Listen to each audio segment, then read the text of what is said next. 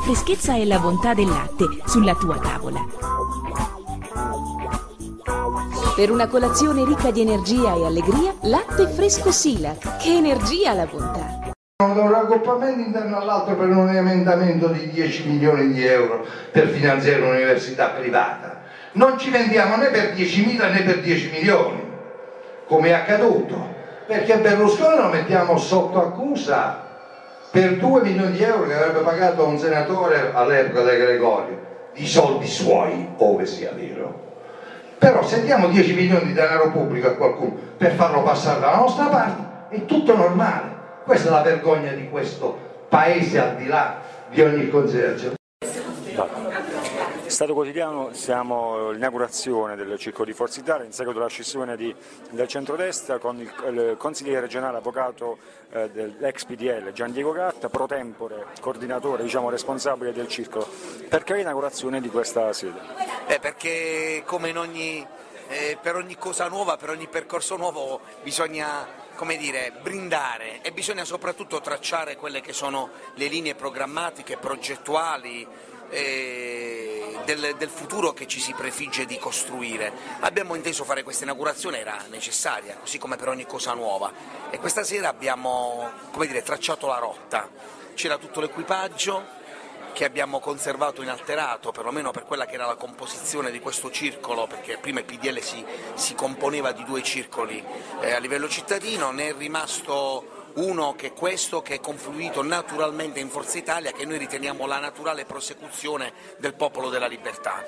È stato bella, un bel momento, anche di festa devo dire, ho rivisto che è stata la cosa più commovente, facce che si erano smarrite, volti che da tanto tempo non avevo avuto più il piacere di, di, di incrociare, quindi abbiamo, siamo riusciti a recuperare tanta gente che per motivi vari si era disaffezionata non solo e non tanto al partito ma alla politica in generale. Questa attività di recupero deve continuare, dobbiamo recuperare al valore della politica, quella con la P maiuscola, tutte quelle anime talvolta anche a ragione persesi in questa città Manfredonia, eh, non diciamo mal derisa, però è, non vive un momento di, di diciamo, ottimo punto di vista occupazionale, dal punto di vista. Molti chiedono una sua ipotetica candidatura a sindaco, lei vuole dire nel 2015 quale sarà la sua posizione? Eh, io sono estremamente lusingato e davvero aggiungo commosso delle attestazioni di stima e di affetto che mi provengono da ogni spaccato della società civile sipontina.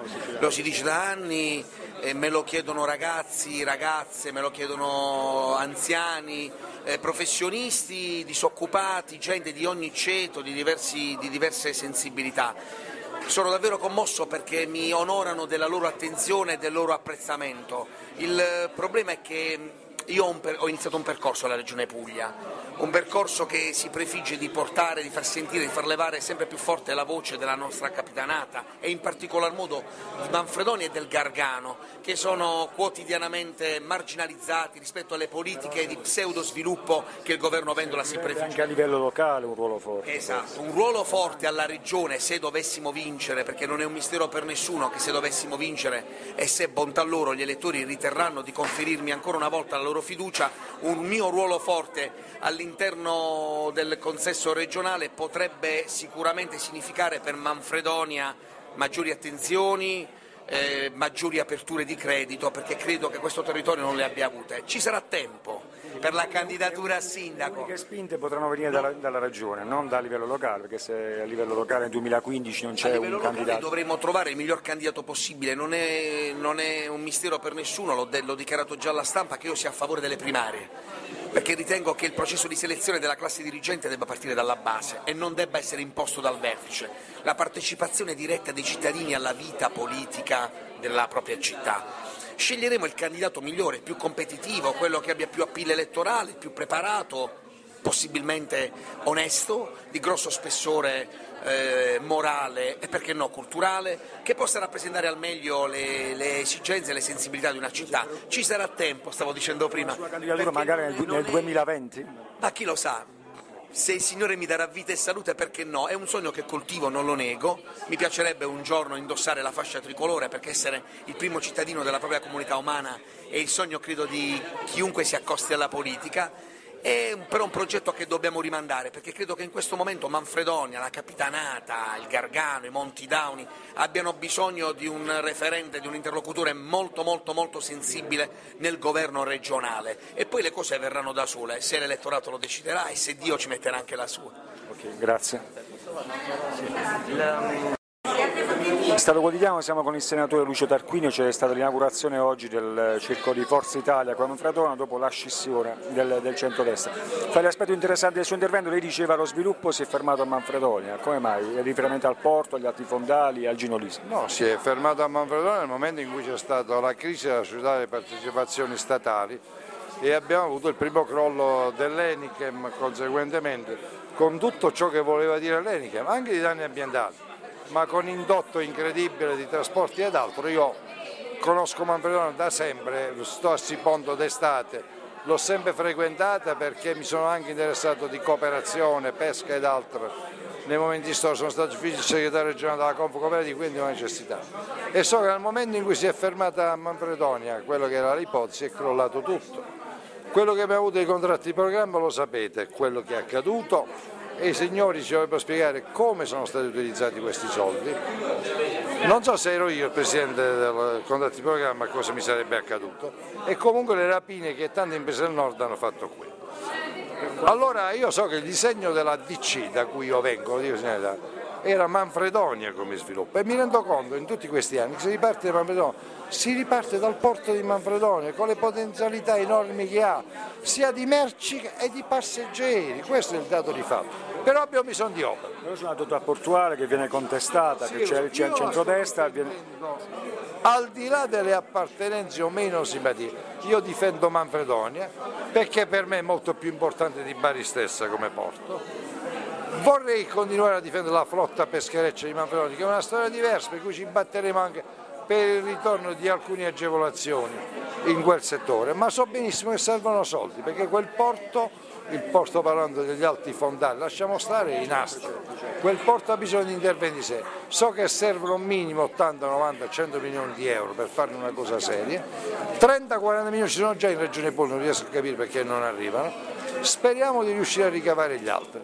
Se si va avanti in questa legislatura io ho creato le premesse per averli nella prossima legge finanziaria. Per concludere, per quanto riguarda il Gino Lisa, lei diceva che anche un disegno di base di vendola per evitare... Aspetto perché fatemi passare il termine. Il nucleo di valutazione che dice no, e dice no perché? Non per la storia di infrazione, aiuti di Stato, no. Dice no perché dice non c'è un piano industriale, cioè vuol dire ti do questi soldi, ma quali sono le ipotesi di sviluppo? Di... Non c'è. Ma è possibile che si faccia questo errore da passare alla ADP, la Società Aeroporti Puglia? La Società Aeroporti Puglia è 100% Regione Puglia. Il sospetto mi viene perché?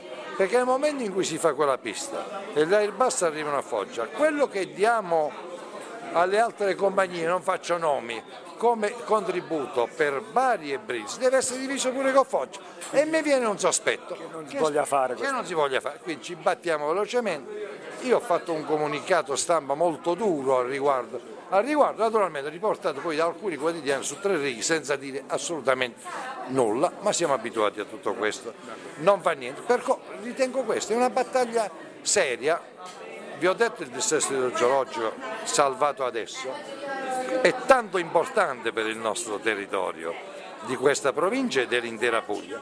Sono battaglie che faccio, non voglio applausi da nessuno, perché lo ritengo che riesco a fare siano il 10% di quello che dovrei fare. Io ho fatto per il poligrafico dello Stato e lì mi hanno detto l'hai fatto perché sei dipendente. Beh, in aspettativa da 23 anni è prossimo alla pensione, non ho parlato con nessuno, né con il sindacato né con nessuno, ritengo di conoscere alcune cose, le faccio. Quando mi batto per i FAS non riguarda la Puglia, guarda l'intero mezzogiorno, chiedo a lei dove stanno gli altri parlamentari del mezzogiorno di ogni colore politico su questo emendamento. Li vedremo poi in aula quando io ripropongo l'emendamento i signori meridionali come voteranno? Di ogni schieramento perché non si tratta di essere ci hanno scippato due miliardi che erano i nostri non stiamo chiedendo nulla di più.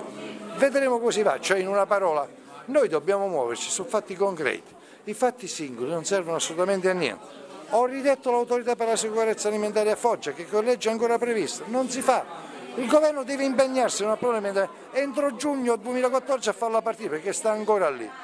perché se no cosa ci riempie a fare la bocca i vari ministri delle adulterazioni alimentari e quello che accade, per, che fanno danni per 180 miliardi di euro e poi l'autorità per la sicurezza alimentare non la facciamo semmai per non urtare Parma che c'è una piccola cosa e basta.